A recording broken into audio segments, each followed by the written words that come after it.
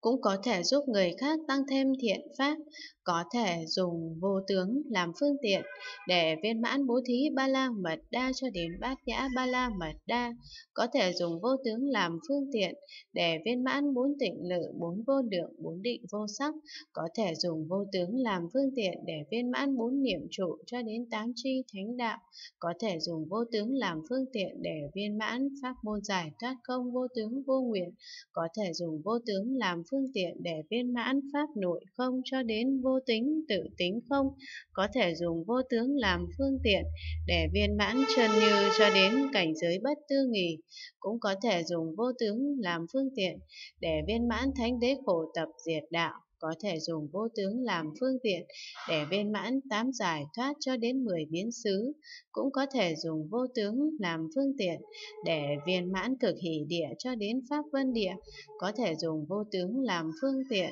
để viên mãn tất cả pháp môn Đà La Ni, pháp môn Tam Ma địa, cũng có thể dùng vô tướng làm phương tiện để viên mãn năm loại mắt, sáu phép thần thông, có thể dùng vô tướng làm phương tiện để viên mãn 10 lực như lai cho đến 18 pháp Phật bất cộng, có thể dùng vô tướng làm phương tiện để viên mãn pháp không quên mất,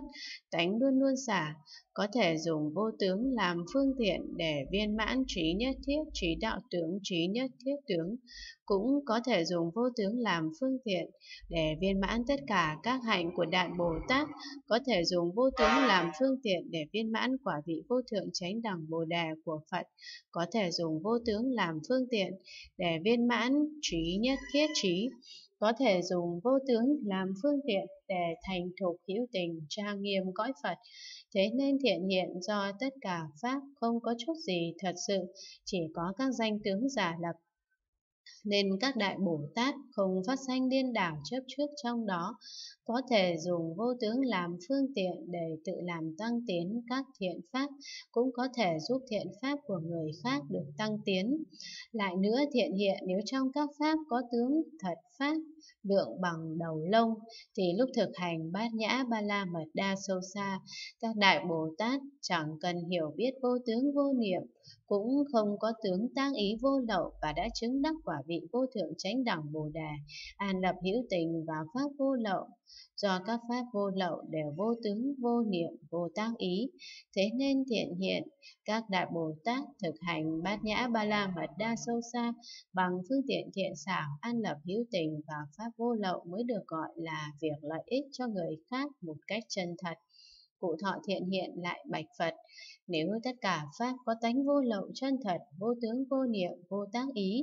thì vì sao ở trong các kinh Thế Tôn đã nhiều lần nói, đây là Pháp hữu lậu, đây là Pháp vô lậu, đây là Pháp thế gian, đây là Pháp xuất thế gian, đây là Pháp hữu vi, đây là Pháp vô vi, đây là Pháp hữu tránh, đây là Pháp vô tránh, đây là Pháp lưu chuyển, đây là Pháp hoàn diệt, đây là Pháp thanh văn, đây là Pháp độc giác, đây là Pháp bồ đề, đây là Pháp Phật vậy. Phật bảo thiện hiện. Ý ông nghĩ sao tánh của Pháp hữu lậu cùng với tánh của các Pháp vô lậu, vô tướng có khác nhau không? Thiện hiện đáp không thưa Thế Tôn. Phật bảo thiện hiện, ý ông nghĩ sao tánh của Pháp thanh văn cùng với tánh của các Pháp vô lậu vô tướng có khác nhau không? Thiện hiện đáp không thưa Thế Tôn. Phật bảo thiện hiện tánh của các Pháp hữu lậu há chẳng phải là tánh của Pháp vô lậu vô tướng vô niệm sao? Thiện hiện đáp đúng vậy thưa Thế Tôn. Phật bảo thiện hiện tánh của các quả dự lưu nhất lai bất hoàn A-la-hán độc giác Bồ Đề. Quả vị vô thượng chánh đẳng Bồ Đề há chẳng phải chính là tánh của Pháp vô lậu, vô tướng, vô niệm sao? Thiện hiện đáp đúng vậy thưa Thế Tôn. Phật bảo thiện hiện vì lý do này nên biết tất cả Pháp đều là vô tướng, vô niệm, vô tác ý, không hai, không khác. Thiện hiện nên biết Đại Bồ Tát nào học tất cả Pháp vô tướng, vô niệm, vô tác thì thường có thể tăng trưởng Pháp lành đã được làm như là bố thí ba la mật đa cho đến bát nhã ba la mật đa hoặc bốn tịnh lự, bốn vô lượng, bốn định vô sắc hoặc bốn niệm trụ cho đến tám chi thánh đạo hoặc pháp môn giải thoát không vô tướng vô nguyện, hoặc pháp nội không cho đến vô tính tự tính không, hoặc chân như cho đến cảnh giới bất tư nghỉ, hoặc thánh đế khổ tập diệt đạo, hoặc tám giải thoát cho đến mười biến xứ, hoặc cực hỷ địa cho đến pháp vân địa, hoặc tất cả pháp môn Đà La Ni, pháp môn Tam Ma địa, hoặc năm loại mắt, sáu phép thần thông, hoặc mười lực như lai cho đến mười tám pháp Phật bất cộng, hoặc pháp không quên mất, tánh luôn luôn xả, hoặc trí nhất thiết, trí đạo tướng, trí nhất thiết tướng, hoặc thành thục hữu tình trang nghiêm cõi Phật. Tất cả các Phật Pháp này đều nhờ học vô tướng vô niệm, vô tác ý mà được tăng trưởng.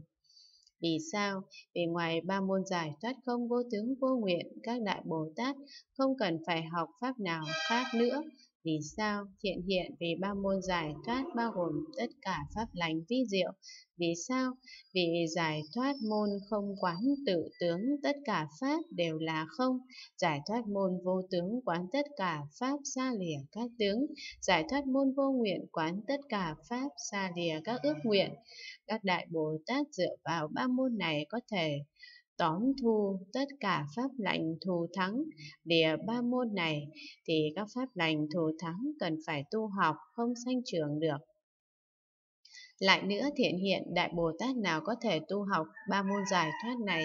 thì có thể học sắc uẩn cho đến thức uẩn, cũng có thể học nhãn xứ cho đến ý xứ, cũng có thể học sắc xứ cho đến pháp xứ, cũng có thể học nhãn giới cho đến ý giới, cũng có thể học sắc giới cho đến pháp giới, cũng có thể học nhãn thức giới cho đến ý thức giới cũng có thể học nhãn xúc cho đến ý xúc, cũng có thể học các cảm thọ do nhãn xúc làm duyên sanh ra, cho đến các cảm thọ do ý xúc làm duyên sanh ra, cũng có thể học địa giới cho đến thức giới, cũng có thể học nhân duyên cho đến tăng thượng duyên, cũng có thể học các pháp do nhân duyên sanh ra, cũng có thể học vô minh cho đến lão tử cũng có thể học pháp nội không cho đến vô tính tự tính không, cũng có thể học trơn như cho đến cảnh giới bất tư nghỉ, cũng có thể học thanh đế khổ tập diệt đạo, cũng có thể học bố thí ba la mật đa cho đến bát nhã ba la mật đa, cũng có thể học bốn tịnh lự, bốn vô lượng, bốn định vô sắc, cũng có thể học bốn niệm chủ cho đến tám chi thánh đạo, cũng có thể học tám giải thoát cho đến mười biến xứ, cũng có thể học. Cực hỷ địa cho đến pháp vân địa, cũng có thể học tất cả pháp môn Đà La Ni, pháp môn Tam Ma địa, cũng có thể học năm loại mắt, sáu phép thần thông, cũng có thể học mười lực như lai cho đến 18 pháp Phật bất cộng, cũng có thể học pháp không quên mất, tánh luôn luôn xả, cũng có thể học trí nhất thiết, trí đạo tướng, trí nhất thiết tướng, cũng có thể học thành thục hữu tình trang nghiêm cõi Phật, cũng có thể học vô lượng vô biên các Phật Pháp khác. Cụ thọ thiện hiện lại bạch Phật. Bạch Thế Tôn vì sao Đại Bồ Tát nào có thể học ba môn giải thoát này thì có thể học sắc uẩn, thọ tưởng hành thức uẩn, Phật bảo thiện hiện, lúc thực hành bát nhã ba la mật đa sâu xa, Đại Bồ Tát nào có thể biết như thật về tướng hoặc sanh hoặc diệt, hoặc chân như của sắc thọ tưởng hành thức thì gọi là có thể học sắc thọ tưởng hành thức. Thiện hiện thế nào là Đại Bồ Tát biết như thật về sắc tướng khi thực hành bát nhã ba la mật đa. Đó là lúc thực hành bát nhã ba la mật đa sâu xa, các Đại Bồ Tát biết như thật sắc hoàn toàn có lỗ hổng, hoàn toàn có khe hở giống như bọt nước, tánh không bền chắc. Đó là Đại Bồ Tát biết như thật về sắc tướng khi thực hành bát nhã ba la mật đa sâu xa. Thiện hiện thế nào là Đại Bồ Tát biết như thật về sự sanh diệt của sắc khi thực hành bát nhã ba la mật đa sâu xa đó là lúc thực hành bát nhã ba la mật đa sâu xa các đại bồ tát biết như thật, lúc sắc sanh không từ đâu đến, lúc diệt thì không đi về đâu thì không đến không đi, nhưng nó tương ưng với sanh diệt. Đó là Đại Bồ Tát biết như thật về sự sanh diệt của sắc khi thực hành bát nhã ba la mật đa sâu xa.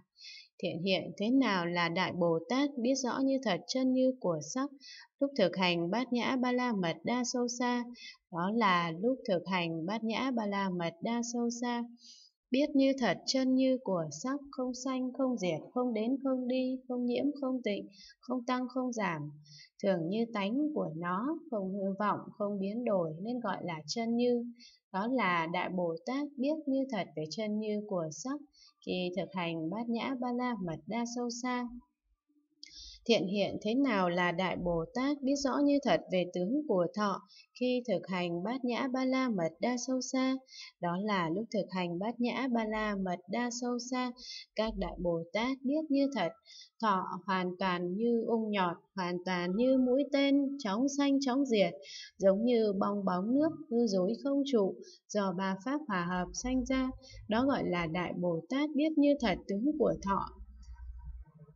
thiện hiện thế nào là Đại Bồ Tát biết như thật về sự sanh diệt của thọ khi thực hành bát nhã ba la mật đa sâu xa, đó là lúc thực hành bát nhã ba la mật đa, các Đại Bồ Tát biết như thật lúc thọ sanh không từ đâu đến, lúc diệt thì không đi về đâu, tuy không đến không đi nhưng nó tương ưng với sanh diệt. Đó là Đại Bồ Tát biết rõ như thật sự sanh diệt của thọ khi thực hành bát nhã ba la mật đa sâu xa.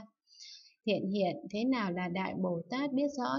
chân như của thọ khi thực hành bát nhã ba la mật đa sâu xa, đó là lúc thực hành bát nhã ba la mật đa sâu xa. Đại Bồ Tát biết như thật chân như của thọ, không sanh không diệt, không đến không đi, không nhiễm không tịnh, không tăng không giảm, thường như tánh của nó, không hư vọng, không biến đổi nên gọi là chân như. Đó là Đại Bồ Tát biết như thật về chân như của thọ, khi thực hành bát nhã ba la mật đa sâu xa. Thiện hiện thế nào là Đại Bồ Tát biết rõ như thật về tướng của tưởng khi thực hành bát nhã ba la mật đa sâu xa. Đó là lúc thực hành bát nhã ba la mật đa sâu xa, Đại Bồ Tát biết như thật tưởng giống như sóng nắng, không thể nắm bắt do nhân duyên khát ái, nên phát sanh tưởng này một cách hư vọng. Rồi dựa vào đó phát ra lời nói, đó gọi là Đại Bồ Tát biết như thật về tướng của tưởng khi thực hành bát nhã ba la mật đa sâu xa. Thiện hiện thế nào là Đại Bồ Tát biết như thật về sự sanh diệt của tưởng khi thực hành bát nhã ba la mật đa sâu xa, đó là lúc thực hành bát nhã ba la mật đa sâu xa. Các đại Bồ Tát biết như thật là lúc tưởng sanh, không từ đâu đến, lúc diệt thì không đi về đâu, tuy không đến không đi, mà tương ứng với sanh diệt, đó gọi là Đại Bồ Tát biết như thật về sự sanh diệt của tưởng khi thực hành bát nhã ba la mật đa sâu xa. Thiện hiện thế nào là Đại Bồ Tát biết như thật về chân như của tưởng khi thực hành bát nhã ba la mật đa sâu xa. Đó là lúc thực hành bát nhã ba la mật đa sâu xa, Đại Bồ Tát biết như thật chân như của tưởng không sanh không diệt, không đến không đi, không nhiễm không tịnh, không tăng không giảm, thường như tánh của nó không hư vọng, không biến đổi nên gọi là chân như. Đó gọi là Đại Bồ Tát biết như thật về chân như của tưởng khi thực hành bát nhã và la mật đa sâu xa. Thế quyển thứ 471